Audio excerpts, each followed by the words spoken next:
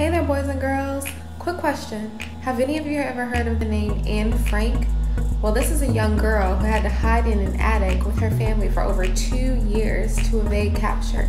Take a look at the link below and check out the video to learn more about her story. Let us know what you think.